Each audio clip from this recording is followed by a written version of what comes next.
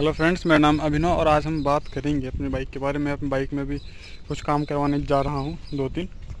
तो सबसे पहला काम तो ये है कि मैं इस बाइक में टायर चेंज करा, करवाने जा रहा हूँ। टायर जो हैं इसके घिस चुके हैं और बहुत सारे कट भी लग गए हैं। टायर में छेद वगैरह हो गए हैं, जैसे दिखाता हूँ मैं आपको। यहाँ पे एक छेद है। इसके अलावा छोटे मोटे बहुत सारे छेद, यहाँ पे एक कट लगा हुआ है, काफ़ी बड़ा। और दिखाऊँ कि एक यहाँ पे है। कट। ऐसे छोटे छोटे बहुत सारे कट आपको टायर में देखने को मिल जाएँगे और पिछले दो दिनों में चार बार पंचर बनवा चुका हूँ मैं इसका। तो इसलिए मैंने सोचा कि टायर चेंज करवा लूँ।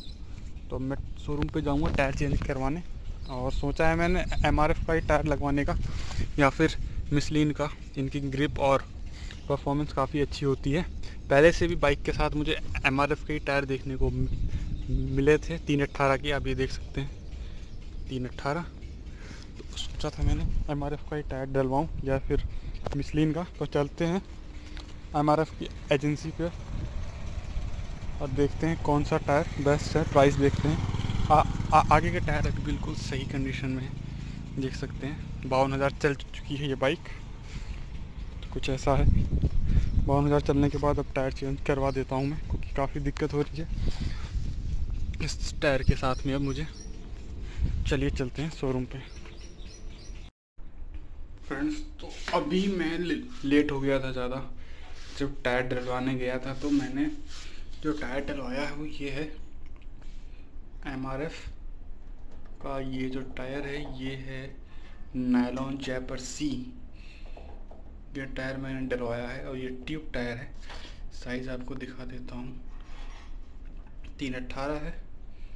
और ऐसा है ये टायर। काफ़ी सही है इसकी। इससे पहले भी यही टायर था इस बाइक में तो काफ़ी सारे टायर देखे मैंने। मैंने अपोलो का टायर देखा सी एट मिसलिन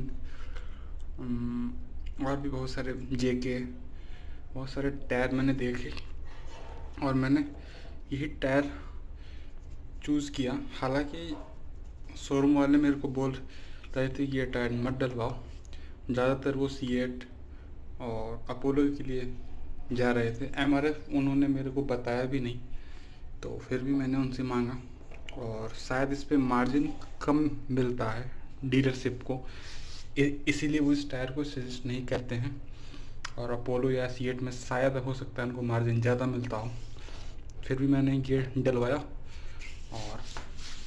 पहले भी ये मैं यूज़ कर चुका हूँ तो इसलिए मैंने इसी टायर को डलवाना सही समझा। तो ये था छोटा सा वीडियो बाकी एक्सपीरियंस तुम आपको मैं बता ही चुका हूँ। काफ़ी अच्छा है ग्रिप काफ़ी अच्छी है इस टायर की।